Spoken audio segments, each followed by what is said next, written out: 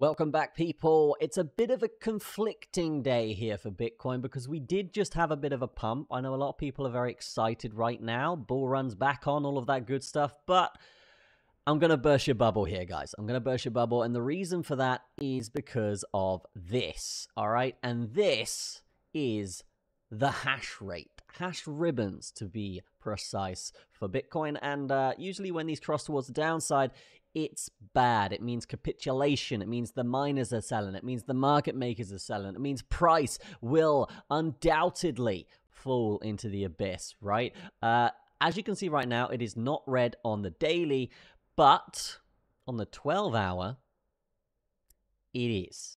If, if it's going to load. Come on, mate. Come on. You, you ruined my whole reveal here, TradingView. Thank you.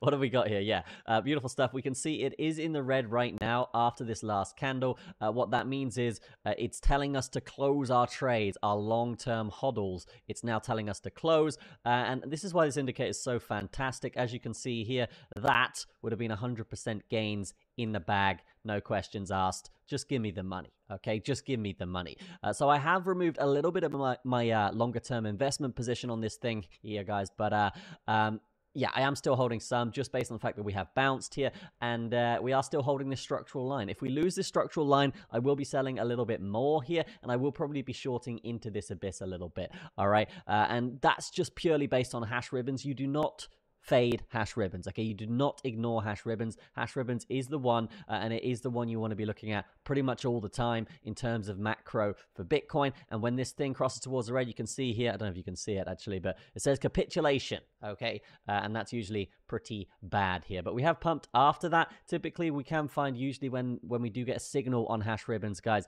uh, that we do get a trap, right? So this could easily be a trap. This pump up. I know something what did just happen uh, in the in the kind of fundamental news space around Bitcoin and stuff. So uh, yeah, that is what's caused this pump. I'm not sure exactly what it's what it's called or I can't remember, but I did look at it earlier. Uh, and yeah, what I can say here in terms of charts because that's what I'm good at here, not looking at random pieces of news. Uh, the charts are the ones that make sense because it's maths. Okay, it makes sense. Uh, we can see that yes, we are uh, potentially in the midst of a move here. This wave could potentially not be done just yet. Uh, and the measure move on this bad boy on the hourly uh, is all the way up to about 65.1 roughly where our local highs are, okay, on our most recent pump up. So uh, we will be keeping an eye on this. Uh, maybe I will take a little scalp trade here, but I don't like how aggressive this thing was, as you can see here. Usually when we get aggression from Bitcoin like this, we like to come down and retest first and then continue the wave if the wave is uh, truthful, right? If it's not lying, right? If it's not a trap, uh, yes, uh, then I would be expecting a retest probably around um, 63.1, okay, before any initi- initiation towards the upside. But if it is going to be super aggressive, then we might target something around this area. Uh, ideally, we want to get above this high here, but uh, I mean, we could look at this bad boy up here if we're going to be a bit more cautious. Uh, just remember, this is an hourly though, so the percentage here, it is going to be roughly 1%. And if I am looking for a 1% trade here, guys,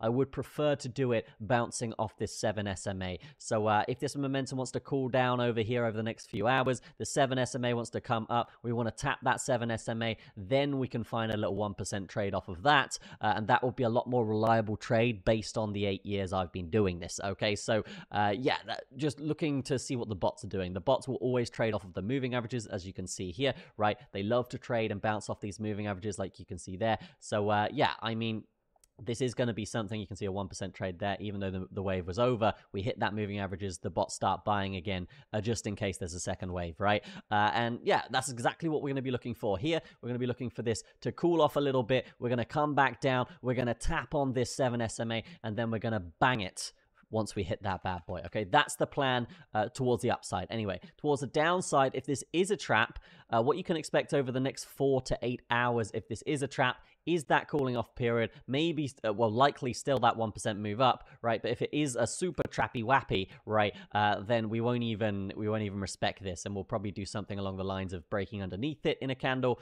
retesting it, and then uh, breaking down. And if it is a situation like that, and you're not liking it, and you've already entered the long here, which does happen occasionally here, guys, right? Probably about 20% of the time. Uh, then, uh, yeah, I mean, what you can do is actually get out in a small, either either a small profit or a break even once we do retest this moving average from the other side. And this will play out over a few hours. Uh, and then obviously you've got your 1% stop loss anyway uh, if it does want to come down. And again, the risk reward on this strategy is fantastic. Again, it's about 80 20 for success rate. So uh, yeah, we are just going to chill with this one. And that's the plan coming forward. If this does want to just blast towards the moon here, guys, then uh, that's fine as well. And we will be targeting some kind of, uh, probably some kind of 15 uh, minute movements here and, and playing it off of this moving average instead. So uh, yeah, if this does want to blast off and not test this just yet, then uh, we'll look to break the resistances first, okay, around 64.5, and then we'll look to come back, test the 15 minute, and then uh, take a trade off of that instead of taking the trade off the hourly 7 SMA, right? Uh, so hopefully that makes sense to you guys. Any questions, ask me in the comments. But the main point here, guys, is this uh, hash ribbons, right? When this does turn red, it's bad, and it's just turned red. So we need to be very, very cautious here. We need to be looking at this and saying, okay, uh, there is a high possibility we do get a capitulation event very, very soon, and that could bring us down to around 56 to, to 50k, that kind of area, right? Low 50s to mid 50s. Uh, so just be aware of that, guys, because this this is super important, very crucial uh, for you traders out there. Uh, and don't get too excited when we do get moves like this. We've got the 60 minute uh, average true range here, weighted by volume, towards the upside about 64.4. This will be a crucial resistance, so I want to see us get over that. That does also align with our with our horizontals here, not on this chart, uh, but the previous chart we're just looking at, right? Uh, so 64.3, and then we've got here about 64.3. Yeah, roughly, basically exactly the same area, right? So uh, if we can get above there, fantastic stuff. We can start targeting a move towards the upside here, uh, playing off that 15 minute and obviously breaking whatever high is made above this this 60 minute right? If we're below it different story completely. If we're below it then it's a resistance and uh, it's going to be something where uh, we could easily get rejected from. So uh, be careful with that. This kind of price action in candles on a four hour isn't super common and this is clear manipulation in the charts. So just be careful. Uh, and when when i when i talk about manipulations people think about like conspiracy kind of a mindset with that kind of stuff. Oh, I lost my trade. It must be manipulation. No, that's not what I'm saying here. This is just very ad- abnormal, unorganic price movement, uh, which, yeah, you should be cautious with and you should be questioning uh, with that little emoji that goes, hmm, uh, that doesn't seem right. Uh, and yes, uh, that is going to save you from a lot of traps and a lot of losses when that does come through, right? So when you do see stuff like this, uh, instead of taking the trade here, instead, you want to be looking at this and going, okay, well, that's a little bit fishy. Let's just just wait to see if we can get over this next resistance level, uh, retest something at least, and then uh, and then go from there once we've built some structure along the way, right? Uh, besides that, if we do lose, because we've talked about the upside trades, of course, right? If we do lose this area here, about sixty thousand dollars for Bitcoin, still crazy. We're up at this level. Okay, I don't want to be too bearish, but uh, if we do lose this, then uh, yeah, we're going to be looking at the lower sixty minute volume weighted ATR band. We're going to look to poke the little nose underneath there, retest, break the low, and then we'll be looking for that short down to, as we said in the previous video, the four hour uh, and the three day uh, average true range here towards the lower side. And you're probably wondering why I'm using average true range instead of moving averages and stuff like that. Uh, well, this is actually my own indicator, and I've been using it for many, many years, and it just works, okay? Uh, it just works in terms of plotting out the ranges. You can see uh, once we hit two of these bad boys, then uh, yeah, it is maximum sell pressure or maximum buy pressure and we often get reversals. So yes, and if we don't get reversals, we often get pullbacks as well, right? So it's very predictable. That's why I use it. And we even got the bigger time frame ones here uh, that uh, even add to the sell pressure. So uh, that's really how you want to be thinking about this thing. If you do want a free trial on this as well, feel free to head to the description uh, where I actually teach you how to use it as well. Uh, but uh, besides that, Besides that, uh, what else have we got here for Bitty? For Bitty here, you can see, yeah, it's, it's starting to curl over here. A very unhealthy price action there, I would say, on a 15 minute. And what we want to see is, is a nice curl up, right? That healthy price action, something like that, right? Rather than this duh, duh, duh, right? That's very unorganic looking, okay? Uh, so that's something we will be eyeing up. We did take a little short on BMB earlier. Uh, we have been testing. I don't think you guys are going to see that. There you go. I don't know if it's been released, so I'm not going to... I haven't signed an NDA, but, you know, you know, guys, I'm going to be courteous of the creators. Uh, but, um, yeah, we did take a... This is not BMB. This is not BMB. Uh, let's go to this, see if this is going to work. Nope, still going to go back to Doge. Okay, they've changed that. But, uh, yeah, you look on the right hand side here, we did take a little short, and uh, yeah, we got out just in time. Just a quick little scalpy scalp because we saw us breaking certain uh, certain supports here towards the downside. So uh, yeah, we, we played that little air pocket and we made a little bit of money, and then uh, we closed the trade, and then boom, trap, banged it towards the upside. So uh, timed that pretty nicely. Uh, and these trades as well, guys, I am letting you guys know in the private Discord section. Okay, the Discord is free. Okay, so you can chat in there. Very very populated now, but uh, yeah, we do have a Patreon open for Super Private TA, where basically every trade I take now, I am just throwing in there uh, with some TA. Uh, so that's going to be good. And I'm going to try and ramp it up. I want to get to, to like, because um, the market's very active right now, I'm spotting a lot in the altcoin side. And it's a little bit my own fault because I haven't really been looking too much at altcoins this run. But uh, there's a lot of edges. There's so many edges. It's ridiculous. So uh, yeah, I'm going to be trying to ramp my trades up to five, ten trades a day uh, because uh, yeah, it's just it's free money a lot of the time when you've got the the experience I've got anyway without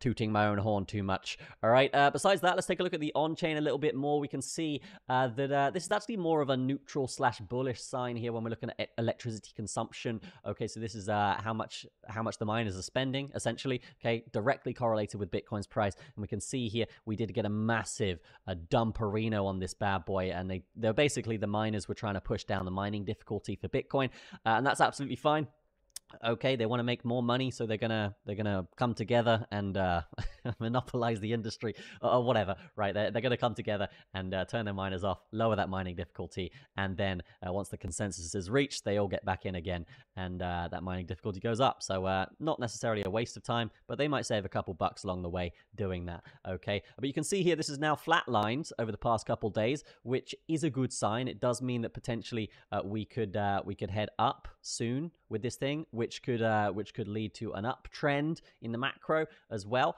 Uh, and yeah, besides that, we did talk about this in the last video. Sorry for blinding you guys with this bright white light. Uh, but oh, okay, that's an interesting one actually. We haven't looked at this in a while. Uh, energy value SMA brought by Capriole. Um, yeah, this used to be a lot higher. Okay, this used to be like 80k, uh, but as of right now, yeah, currently around 78. So yeah, interesting stuff there. If we do get above that 80k level, it's parabolic. It's get your longs in. It's 100x to the moon. That is what we're really looking for here, as well as this turning green as well. Okay, so uh, yeah, this isn't even cautious trading. This is um, probably more medium aggressive i would say. Once this turns green you could buy some bitcoin and uh, let this thing ride up okay? That's that's my plan anyway uh, just based on all the data here. When it's green it works out pretty nicely only one um, or two scenarios where it hasn't, as you can see here, but I imagine there was still a massive pump there, 2 or 3k, 10% anyway. So yeah, there is money to be made when this turns green, and where we are in the cycle means it just it just rockets, okay? It, it just rockets. So uh, yeah, we're waiting for that one, and uh, we're waiting to get over 80k as well. So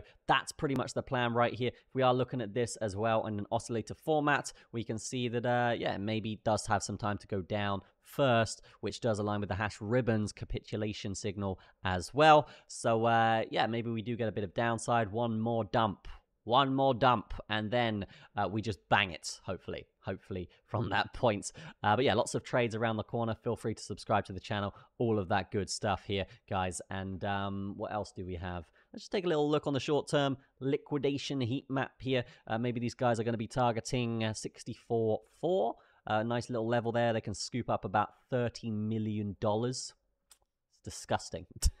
it's disgusting how much money these guys make. Okay, 70 uh, 172 million dollars are pretty crazy uh, and yeah the pullback here roughly 122 million around 63 1 so let's just uh, cross reference that in a parallel fashion uh, was it 63 1 uh, yeah roughly where the retest we want to happen is. But right now it's bouncing off that five minute seven SMA, I imagine. Here, yeah, roughly, roughly. Uh, looking for another wave here, it seems. But um, yeah, something I'm not not really going to be interested in touching just yet. Here, it's a little bit unorganic for me. But uh, if you are trading this, let me know in the comments, and uh, yeah, we'll see how this goes from that point. But uh, yeah, that's going to be it from me. I'll be doing some uh, some meme coins, some uh, high cap coins, and some yeah, we'll do some super low cap. I'll just pick one from the trending list. Okay. Um, yeah, just be careful, guys, with those with those with those super low cap 600k market cap ones, because uh, the last one did rug,